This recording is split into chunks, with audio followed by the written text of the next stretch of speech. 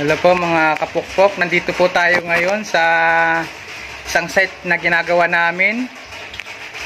Kay Engineer po si, ah, ito po yung ginawa naming hagna, hagdan, Nara Wood. Ah, pasyalan po natin.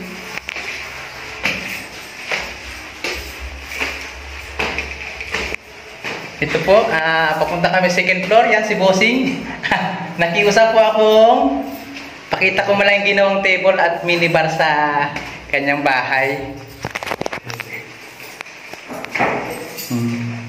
Ito po sa third floor yung pinagawa ah, ano handrail dito. Gabay ng hagdan niya. Hindi pa tapos at medyo construction area pa. Ang mga kapukpok ito po. Ginawa namin. Ah, ito pong mga wood niya is solid wood nara mga table niya. Ito. Next po siguro ah, kung sakali pag ano mapagawa ni bossing itong second floor kung siswertehin ay napakalaking ano sa amin. Ito po mga kapukpok ababa tayo ulit second floor? Ah, binuksan ni bossing pa silip ko lang sa inyo yung ginawa naming maliit na table. Ito po. Ito po solid nara napakaganda po um, nara wood type tapos yung ceiling niya yung minibar niya. Solid na solid po. Ito po ah, ano siya native sofa. Na pa mga ugat-ugat po siya ng nara.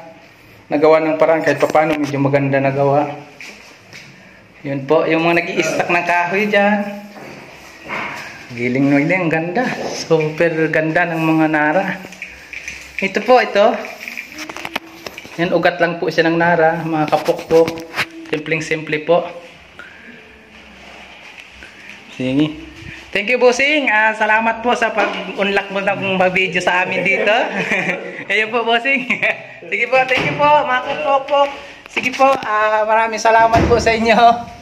God bless po. Sana po sa mag-subscribe pa sa akin at mag-views pa sa aking mga YouTube channel.